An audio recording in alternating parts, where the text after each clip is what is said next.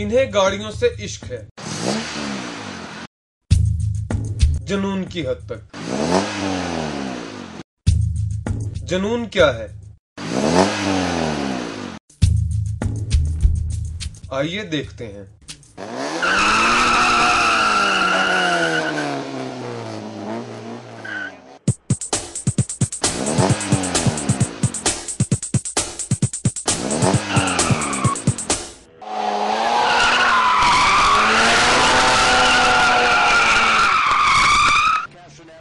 दुनिया भर में कार रेसिंग समेत एक्सट्रीम स्पोर्ट्स को एक खास मुकाम हासिल है और आए रोज कार रेसिंग के हवाले से कोई ना कोई इवेंट मुनद होता रहता है। इन मुकाबलों में हिस्सा लेने वालों को न सिर्फ़ मकबूलियत और इनाम कराम हासिल होते हैं, बल्कि मुल्क का नाम भी दुनिया भर में रोशन होता है। इसके बरक्स पाकिस्तान में चूँकि हुकूमत ने इस हवाले से आज तक कोई काबिल कदर इकदाम नहीं किए। लिहाजा मुल्क भर में बेपनाह टैलेंट मौजूद होने के बावजूद, आज तक बैरूनी दुनिया में कोई पाकिस्तानी इस मैदान में अपनी काबिलियत के जौहर नहीं दिखा पाया। मिनिस्ट्री ऑफ़ स्पोर्ट के हम लोग इतनी ज़्यादा यहाँ पे गाड़ियाँ वगैरह हैं, लोग हैं इंथ्यूजियास्ट हैं, जो चाहते हैं कि रेसिंग हो पाकिस्तान में काफ़ी हद तक हो, लेकिन हमारे पास कोई ज़राए नहीं है, कुछ नहीं है। तो we have a request for the we request them कि कोई इस तरह का हमारे लिए हो, कोई सर्किट वगैरह हो, क्योंकि जहाँ इतने ज़्यादा बजट के अंदर और कहीं पे पैसे वगैरह लगते हैं, इधर भी लगाए जा सकते हैं।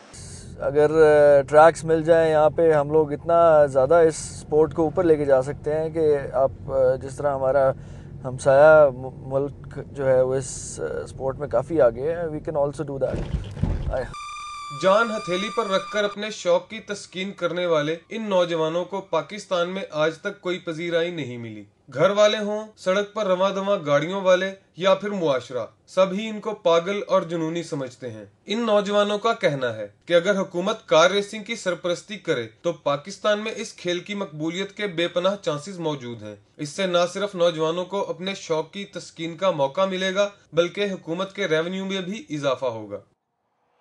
रेवेन्यू इस ये मोटर स्पोर्ट्स जो है, एक तो हमारे कॉम को शौक बहुत ज़्यादा है। ऊपर से ये है कि आप कहीं भी देख लें रेवेन्यू काफ़ी जनरेट हो सकता है इससे। आपका, आपको इसको रेगुलराइज करें, इसकी, इसके ट्रैक्स बना के स्पॉन्सर्स आएँ। स्पॉन्सर्स जो है वो डिफरेंट तरीके से इसको हम फैलाएँ और पाकिस्तान में फिर बाहर पाकिस्तान से लेके जाएँ। तो this is how it is how it should be में जो है, इसकी पब्लिसिटी भी मिलेगी फॉरेन कंट्रीज़ के अंदर और गवर्नमेंट इससे रेवेन्यू जनरेशन कर सकती है, क्योंकि उसके अंदर फ़ी कार की एंट्री की कॉस्ट और उसके अंदर प्राइज़ मनी भी रख सकती है एंड जो लोग आते हैं फैमिलीज़ इनके बच्चों को कार रेसिंग का शौक़ है, जो नहीं देख सकते या उनको टी वी पर देखते हैं या मूवी से इंस्पायर हुए हुए and they have no way out कि जी वो देखें किधर मूवीज़ चल रही हैं हम किधर करें लाइव कहीं रेसेस हो रही हैं, नहीं हो रही हैं तो अगर ट्रैक होगा तो ये I am definitely sure and positively sure कि ये एक फैमिली इवेंट बन सकता है।